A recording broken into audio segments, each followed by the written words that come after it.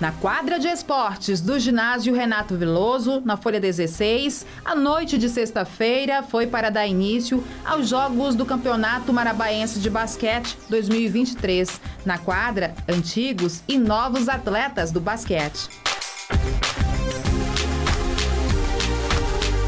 Momento é o time, é o Dream Team, que a gente chama, né? Um time mais antigo, do pessoal mais veterano.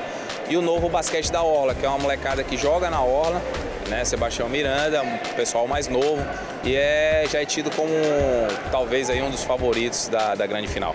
Este é o primeiro campeonato de basquete de Marabá. A gente tem oito equipes masculinas, isso é um recorde, né? E a gente buscou aí é, garimpou os locais que a galera joga basquete em Marabá e foi ali pescando times. Né? Tem times da Escola Doralice, tem um pessoal que joga na Orla, pessoal do Osorinho, do Instituto Federal do Pará, pessoal da Facimpa. Então tem um grupo muito grande em Marabá e a gente foi ali e convidou a todos, né? eles mesmos se reuniram e fizeram esse, esse trabalho de chamar os times. E a gente tem quatro times femininos e a gente trouxe um time de fora, que foi o time de Rondon, para poder abrilhantar o espetáculo aqui e fechar em quatro times. Muitos saíram de casa para prestigiar o evento. As arquibancadas receberam um número significativo de visitantes.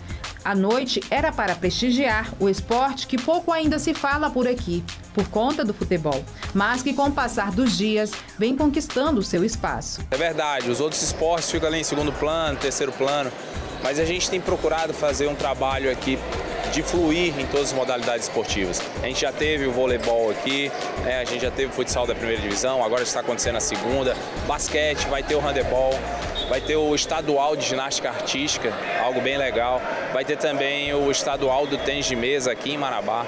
Então o objetivo justamente é trazer todas as modalidades esportivas para dentro do ginásio ou para dentro dos campos, justamente é, para contemplar a todas. Aqui os jogos aconteceram durante o fim de semana e continuam no próximo.